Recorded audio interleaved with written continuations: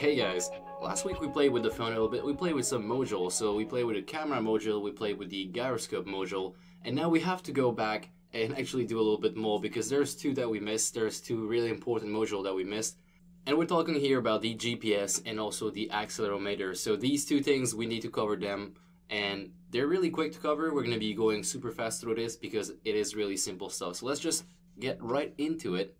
I'll move over to the other scene, so that's my desktop, and for some reason it is not being captured. Here we go. Um, this is currently a project that we've did last week. This is the phone camera. So if I build this, what I get is I can actually see what's around me through the, the phone camera. So this is basically just a base of the markerless AR tutorial we've made. Uh, if you want to have the same exact setup as I have right now, you can go back on the channel, go at the end of this video. There's going to be a link to um, the phone camera tutorial where we just take the phone camera and display it as a background.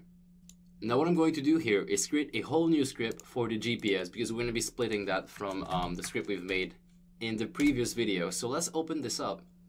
And it is going to be a fairly simple script to create. You'll just have to understand how the coroutine works. So I'll get back into that as we do it. Let's start by declaring um, two float, one called latitude and the other one called longitude.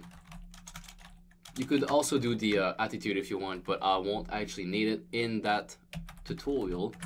So public float latitude and longitude. Now let's go and do a start.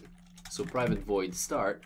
And now if I'm just to explain how the, uh, the process works here really quickly, when you actually try to get the GPS of your phone, you have to go through first um, some permission. So your app needs permission. So that is taken care of when you open the app. But after that, you need to send a request to your phone to actually start using the GPS. So that request takes a little bit of time. It, it's not something that is instant, so we can't do it all in the start. We actually have to start the process in the start function and then uh, get a response back later on. So this is what we're going to be doing here, and this is also why we are going to be using a coroutine. Now, I personally hate coroutines, but that's something I can't avoid in this case. So let's go ahead and just do a start coroutine. So start coroutine like this. And now we need to create a function. So the function is going to be called start location service, just like this. And it doesn't exist right now, so I'll highlight it, then do a control dot, and generate a method for it. If that doesn't work for you, you can simply write it down right here.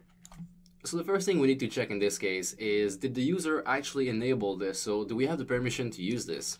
So if input location is enabled by user. If it is not, oh sorry, if it is not, then we need to actually just break out of this because we can't do anything if he didn't enable this. So let's say debug.log user has not enabled GPS. And since we're in the middle of a coroutine, we gotta do a yield break in here.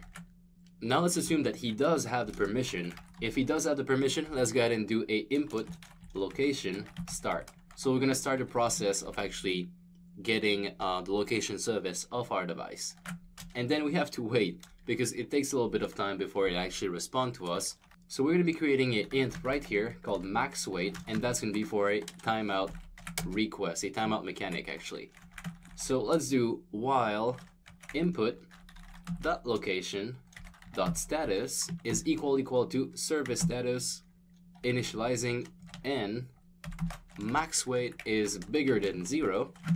So when you do a input location dot start, your status right here is going to be swapped over to location service status initializing. So at the very beginning, since max wait is bigger than 20, you're definitely going to enter this loop and then in this loop we do a yield return new wait for a second only one second and then we do a max wait minus minus which is going to create a mechanic where uh, this while loop is only going to be called a maximum of 20 time, and that's because of the max wait is equal to 20, and then we do a minus minus here. So in that case, if we actually manage to get out of this while loop, if we actually manage to get out, there is either two reasons. Either we have a different status from initializing, or max wait is uh, equal to zero. Now, if max wait is actually equal to zero, we have a problem. So let's do if max wait Let's do is smaller or equal to zero in case something weird happens. Then we do a debug.log timed out. because we actually have we still have the same uh, location service status and our max wait is now is now expired so we'll do yield break here now there's also another possibility that the status has been changed but it has not been changed for something that we can use so it can actually fail so we're gonna check right here if input location dot status is equal equal to location service status failed if it's failed, then it means that uh, we need to actually cancel our operation. So down here, we'll do a debug.log. And let's actually do unable to determine device location. And finally, a yield break on that instruction so we can actually uh, destroy our whole function right here. Now, in case that it went through those two checks and it's actually working, then it means that we do have our service working and at this point we can say, well, it is started, so latitude is equal to input, location, last data, and latitude. Longitude is equal to the same exact thing, so let's do longitude, input, location, last data, longitude in this case, and yield break to actually finally finish this function. And just like this, we managed to start our GPS. Now, what I'd like to do, since uh, the GPS is something that you use in different places in your code, is to actually turn this into something that is static. So I do a public static instance, so public static GPS instance, and I make it a property, so set get. Now in the start, I make sure to set that, so instance is equal to this. Also, don't destroy on load, game object. The reason I add these two things is so I can access my GPS from wherever and uh, if I ever change scene, my GPS instance still exists, so it's still on a object somewhere that does not get destroyed every time we change scene. So let me go back in the game really quickly. I'm going to head over to my main camera and actually drag and drop my GPS script right here.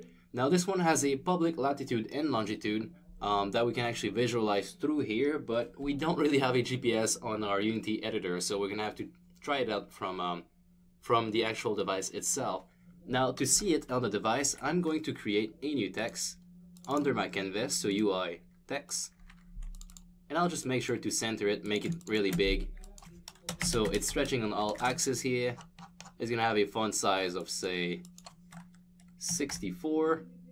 And it's gonna look something like latitude and then a number, so really, really long number, why not? And longitude, same exact thing. Let's actually center that in the middle. And now we just need to create a short, very short script that is going to take care of that. So I'll go back on my main camera since everything seems to be on there for some reason. And I'll call this um, update GPS text.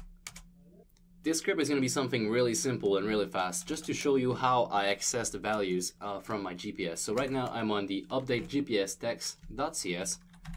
I'll create a public text object. We don't have to do this if you just want to use the values for something else, but Mine, in my case, I want to display it in a text, so I'll do public text, make sure I include UnityEngine.ui, and then I'll create, um, I'll name this coordinates. And then in a private void update, here is what I'm going to do. It is fairly simple. Actually, all I have to do is coordinate.text is equal, and this is how you access it. So GPS instance latitude and then since I need this as a text, I'll do toString.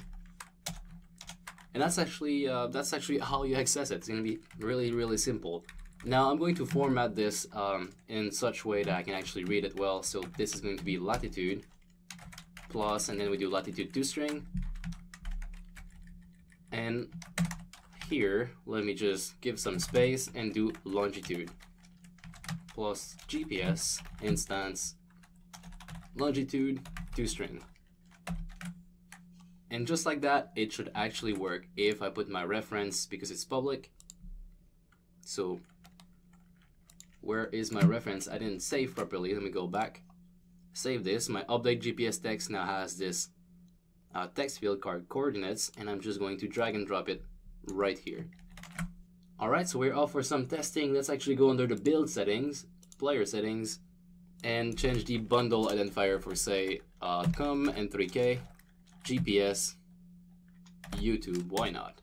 Okay, and I'm simply going to hit build and run. Make sure you are on Android or iOS, depending on which one you like the most.